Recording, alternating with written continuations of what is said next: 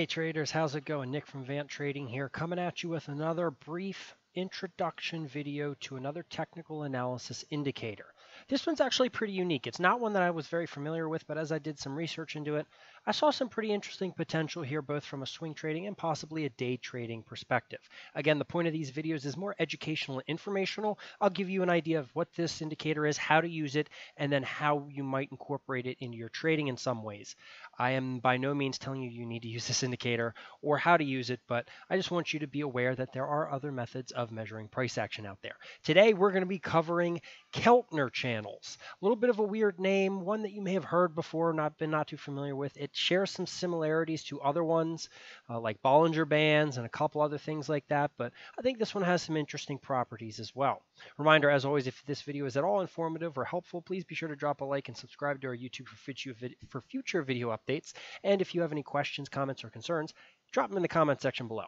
Now, Keltner channels, what are they? Okay, well, if you've watched our Bollinger Band videos or you know what a Bollinger Band is, this probably looks a little familiar. That's because it's pretty similar. This is by its core design a volatility-based indicator. And so, you know, this is going to be acting in a similar-ish way to Bollinger Bands, but it has some key differences. So you've got three lines on here clearly. Typically, the middle one is an exponential moving average. And typically, it's a 20-period exponential moving average. Obviously, you can go in there and change it however you want. This is typically what I find most traders use. It's just kind of the standard.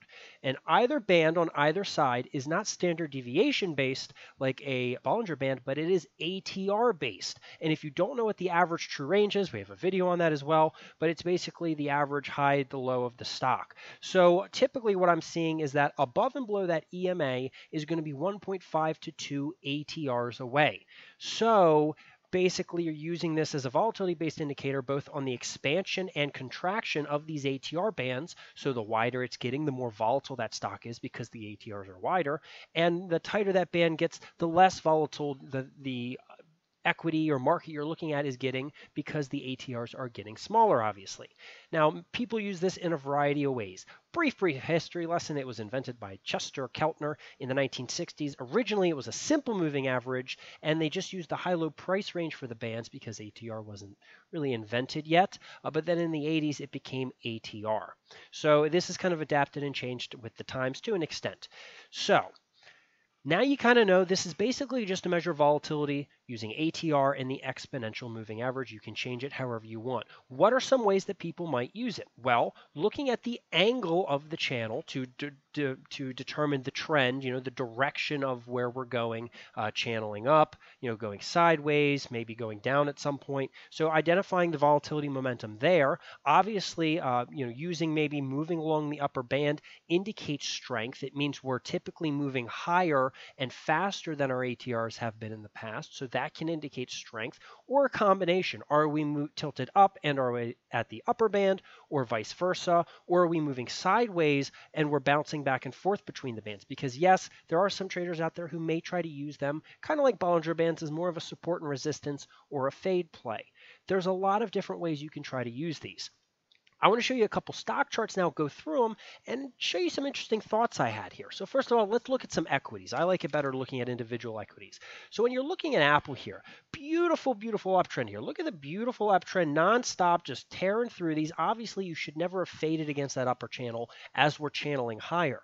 But if you're wondering, well, when is this momentum going to stop? The moment it finally kind of flattens out and touches on this lower band, it's clear the momentum has subsided. And then eventually we re reach the upper band while we're kind of tilting up. We get a little bit more. And then the same kind of thing. We eventually return months later to this lower band. We're flattening out and the momentum has subsided. So in this way, you know, maybe you could try to use it as a, a, a means of identifying when that trend up or down has ended or vice versa. Let's look at another good example in my opinion, Home Depot. Home Depot had a great little run here trending all along the band. We're sloped up and then finally we kind of flatten. Don't quite reach the lower band. Um, we continue higher again and then bam, we finally kind of flatten out, hit this lower band. We can't get back up to the higher band and for several months we stagnate. Uh, you know, you take a little dip here, we actually touch, and if you were buying in here and you saw start to move downward and hit this lower band, it might have given you a reason to exit or, or something along those lines. But then when we finally reverse an uptrend and touch this, it becomes a reversal. So there's some ways you could try to use it in here. We're still channeling up, although it almost looks like we're flattening out. And if Home Depot were to flatten out and touch this lower band, then the move up is probably at least temporarily stalled for who knows how long. Another one, Tesla. Tesla's a great one because look how tight we get as the ATR tightened. You know, low volatility. We eventually take off, start trending up, moving higher, and then eventually we roll over, touch this lower band, and the momentum has stalled. So you know, obviously one of the downsides here that I'm seeing is it's a little lagging. And depending on what the time period of this EMA is, this may react faster or slower to changes in price. Same with the ATR you're using, whether that's 1, 1.5, 2, whatever. So depending on what your measurements are, it could change. Let's look at one more and then we'll look at the intraday and then I'll let you go. BABA. BABA's a great example because look, BABA trending up, trending up, still touching. Yeah, a little choppier, but never really touches this bottom. And then until we finally roll over, touch the bottom indicator, and that has kind of started this now actually reversal, not just a stagnation, but a reversal here. Pretty interesting. And we trend lower, trend lower, trend lower, trend lower, and then we flatten out, touch the high, uh, high and actually ended up resulting in a little bit of a brief moment of, of lapse of downside selling. Now it almost looks like we're flattening out and we're pinging back and forth between these. So, I, you know, just based on trying to use the Keltner channels here, I don't normally use them, but this almost tells me that, okay, we're not quite sure the direction it's going to be going. We need to see where this slope goes. May, these Keltner channels could start narrowing. It could go into a period of just kind of stagnation sideways. We'll see. Yeah, you could try to use this on the market as well. You know, we've been touching this upward channel for a while, uh, touched it down here, you know, and kind of flattened out, but it actually quickly resumed. So, you know, take that what, what you will, but on, you know, on this up move as the market's riding, you know, we eventually touched this downward channel, this downward band, and it actually ended up resulting in a couple months of flat movement largely. So, you know, depending on how you use it and what you want to use it on, there might be some application here. Maybe you could try to use it on the intraday. Uh, obviously, you would have to adapt your bands and your time frame because if it's reading the one minute ATR and things like that, you know, maybe if you're scalping, you could try to use it for a brief reversal like here. Uh, if you're just riding along the upper band or looking for reversals or something like that, I'm not exactly sure how you want to trade that, but there's several applications. I'm sure some of you geniuses who are smarter than I am could possibly think of applications for the Keltner channels on an intraday level really depends on you. Again, you know, th- that's just kind of the standard use, the standard measurements. It's an interesting indicator, one that I'm sure someone would have some use for if you would prefer this over Bollinger Bands or vice versa.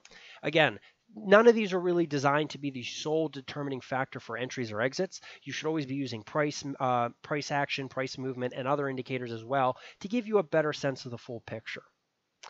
That's it. I hope that this was helpful and informative. I thank you for tuning in, and as always, safe trading.